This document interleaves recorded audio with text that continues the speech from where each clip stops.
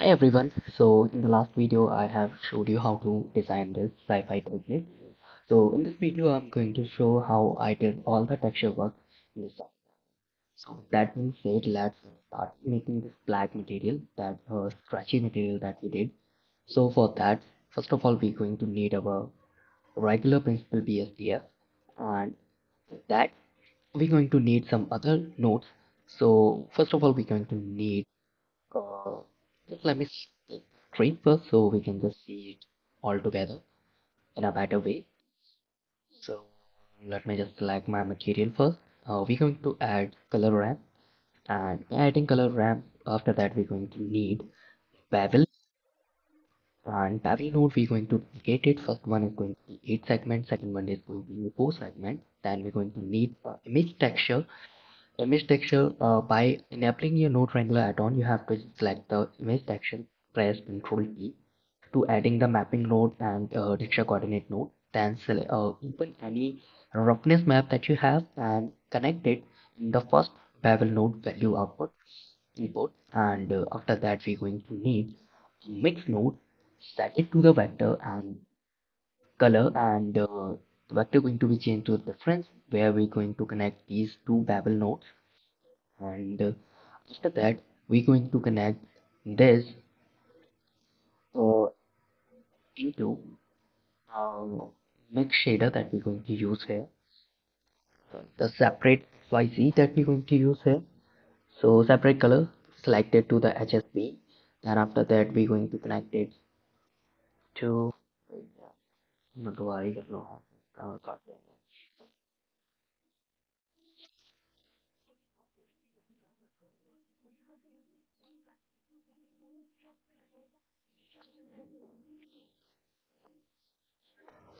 so after selecting the uh, color and friends connecting our bevel node we're going to uh, add separate color node right here.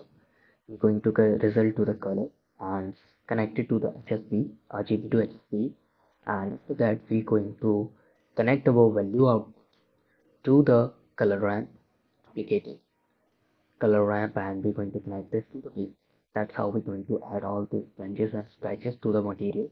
And after that you can just uh, scroll down those bars and uh, make it the way you like it. You can use the color ramp to adjust all the scratches and the color that you and the metallic part for you. Material and the text so this is done. Uh, you can try to connect it to the roughness it work like that. So you can just connect it to the metallic part and choose the roughness according to you. That's how we're going to make these scratches over it. And after that we're going to add some variation in the texture just like this brown color so simply just click on that number so it can be a different material and then you can just change the color of the material. Uh, you have to just change the color for the color ramp and you can just adjust the material accordingly. Totally up to you. Use your creativity to make uh, the different kind of material. Same goes for the downward we're going to make it uh, full green for that just make it another.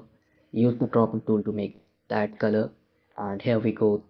Have that green now you can add some variation in the parts as well like I'm going to give it this brown color and the upper one I'll give it another brown color right here done so I'm just adjusting the color to make it a bit various and uh, yeah.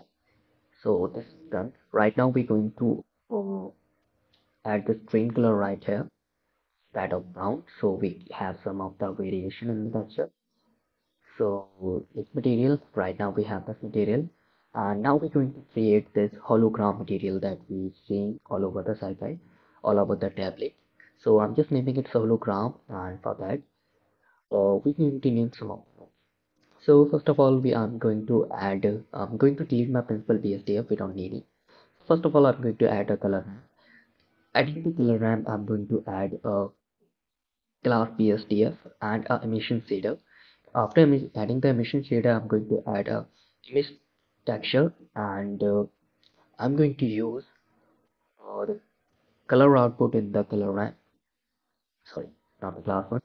To the color ramp then we i'm going to use a mix shader right there then uh, glass BST in the first shader, emission shader to the next, and we're going to use color ramp as a factor and shader to the and now I'm going to choose uh, the image that I have used. You can use whatever image you want according to your imagination, and that's how you get these right there. And you can also do one thing: you can just connect the color to the emission to make it the color that you want. You can use any other color that you want, or you can use the image color.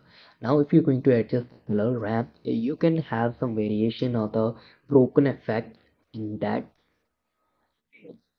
and same goes to those buttons like we're going to assign the same hologram material to those and let me select those.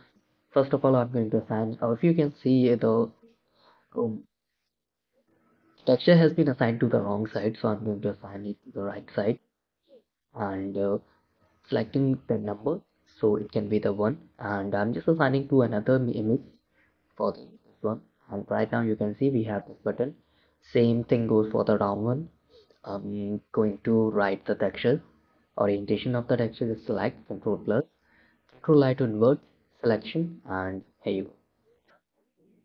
Hologram one yes and that is how you make these buttons. And same the variation that I'm going to use is going to be right here. So like so simply just select those assign the hologram material to the right side and the black paint material to the another side. So not that uh, transparent or you can see some variation this is how I just simply cube projected this like uh, selecting those and UV unwrapping to the projection and uh, you can choose it wherever you want and whatever you want. Just like this I'm rotating it by selecting it. Whatever design you like to have you can have that. Just like the same thing goes for this one. I'm going to add a string right here as well. You can just add another material. Trying to remove all these extra materials. So just select that hologram material and uh, assign it to the first of all I'm assigning the black material and after that we're going to assign the hologram material. Like so you have these textures going on same